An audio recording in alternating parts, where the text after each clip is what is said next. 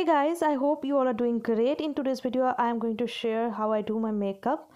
Actually जो भी मैंने मेकअप प्रोडक्ट यहाँ पे यूज़ किया है मैंने कोशिश किया कि वही प्रोडक्ट यूज़ करूँ जो स्किन के लिए अच्छे हो और हर एक लोग एवरीडे इसे यूज़ कर पाए तो फ़र्स्ट ऑफ़ ऑल मैं यूज़ करती हूँ मॉइस्चराइज़र ये मॉइस्चराइज़र है from the brand the beauty seller light moisturiser skin cream मैं कुछ दिनों से सिर्फ़ यही मॉइस्चराइज़र यूज़ कर रही हूँ क्योंकि ये मॉइस्चराइज़र अप्लाई करने के बाद स्किन में ग्रीसी या ऑयली वाला फील नहीं आता है देन मैं अप्लाई करती हूँ फेस पे प्राइमर ये है from the brand Lakme absolute ये ब्लर परफेक्ट मेकअप प्राइमर है। एक्चुअली मैंने अभी तक बहुत सारे ब्रांड से प्राइमर ट्राई किया है, लेकिन मुझे यही सबसे अच्छा लगा।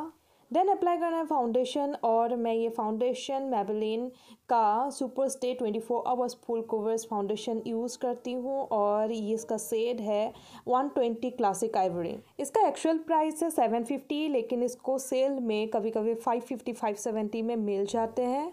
लेकिन अभी तक मैंने जितना भी लो प्राइस या मीडियम प्राइस के फाउंडेशन यूज़ किया है, यही सबसे बेस्ट है।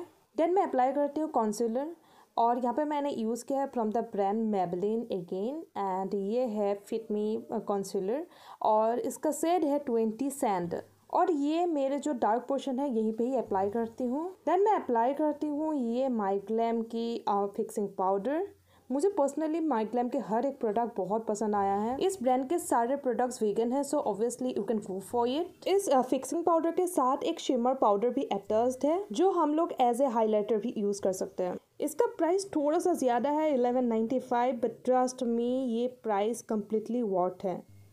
आई शेडो पैलेट मैं यूज़ करती हूँ from the brand the Jaclyn Hill मॉर्फिका मैंने ये फ़्लिपकार्ट से लिया था और ये ऑब्वियसली ड्यूप है, क्योंकि इसका price I guess three hundred something था।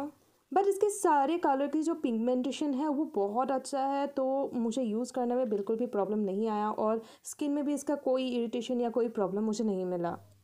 इस आई शेडो में बहुत सारे कलर्स है तो मुझे हर एक लुक क्रिएट करने में बहुत इजी होता है ये आई शेडो से। और जब भी हम लोग आई शेडो अप्लाई करते हैं, हमेशा ध्यान रखना है कि हम लोग को लाइट सेड से डार्क सेड तक जाना है और अच्छे से ब्लैंड करना है। और उसके बाद मैं नीचे आईलिड में भी वही कलर्स अप्लाई करती हूँ। उसी के बाद मैं काजल अप्लाई करती हूँ आँखों में। Actually I am the person जिसको आई के डिफरेंट कलर्स से खेलना मुझे बहुत पसंद है। आज एक्चुअली जो ये मेकअप का लुक मैंने क्रिएट किया है, ये ऑब्वियसली हम लोग कभी भी कोई भी शादी में गए हैं या घर पे शादी है और ऐसे हम लोग ऑब्वियसली मेकअप कर सकते हैं।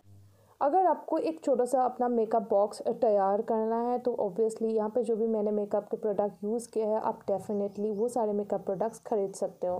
देन मैंने आँखों में अप्लाई किया है, ये काजल, ये एन वाई बे के है और ये कम्प्लीटली ब्लैक काजल नहीं है, ये काइंड ऑफ़ कोपर कलर में है और जिसमें थोड़ा सा ग्लिटर्स है।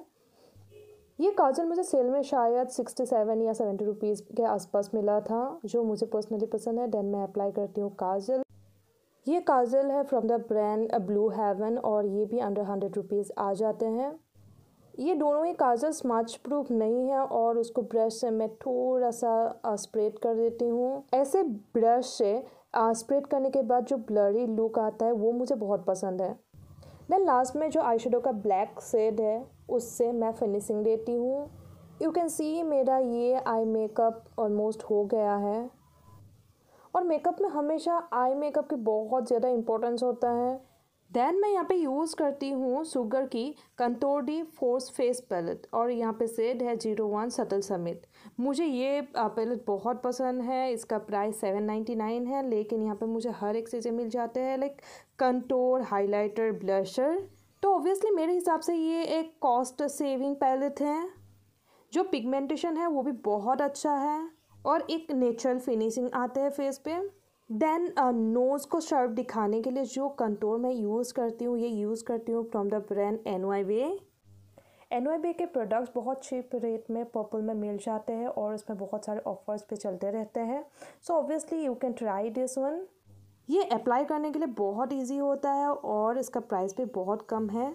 देन हाइलाइटर के लिए मैं अगेन शुगर की contour de force face palette use करती हूँ और यहाँ पे जो हाइलाइटर है, वो मुझे पर्सनली बहुत पसंद आता है क्योंकि इससे एक नेचुरल फिनिश आता है। जो ग्लो आता है, वो बहुत नेचुरल ग्लो आता है, बिल्कुल भी छंकी वाला फील नहीं देता है।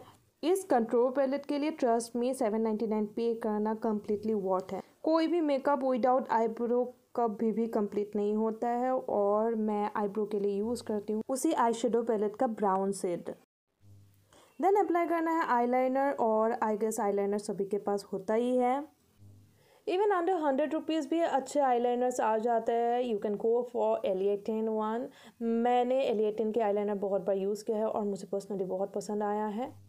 और मास्कर के साथ मैं कंप्लीट करती हूँ मेरा ये आई मेकअप और लास्ट में मुझे अप्लाई करना है लिपस्टिक लिपस्टिक के लिए अगेन मैंने यूज़ किया है from the brand MyGlamm MyGlamm के लिपस्टिक 395 में आ जाते हैं और मुझे पर्सनली बहुत पसंद है और you can see this is the my last look अगर आपको मेरा वीडियो पसंद आया then don't forget to subscribe my channel thank you